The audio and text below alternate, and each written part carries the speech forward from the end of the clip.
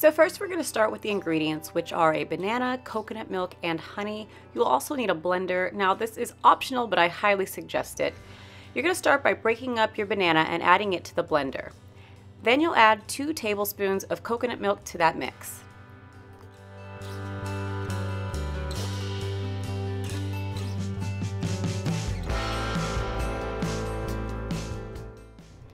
Then you're going to add two tablespoons of honey.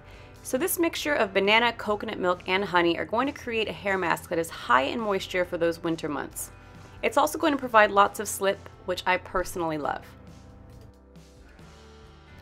Next, you're going to blend all the ingredients well. I made a huge mistake during this video by not blending this super smooth and also by not using a strainer. So please learn from my mistakes and strain this. So I'm starting on dry hair, but you can definitely start on wet hair if you choose. I just refuse to shower twice if I don't have to. Plus, I wanted to test out the slip on dry hair. Oh, and by the way, this tastes amazing.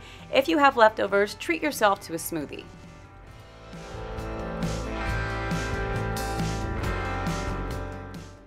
So I'm applying this with a hair coloring brush, but you don't have to. You can totally just use your hands. I'm just a bit messy in this process. Now, do you see all of those chunks of banana? Let me just warn you that these do not rinse easily. That's why you need the strainer. When I did my DIY avocado mask, it rinsed out so much easier than this, so just keep that in mind.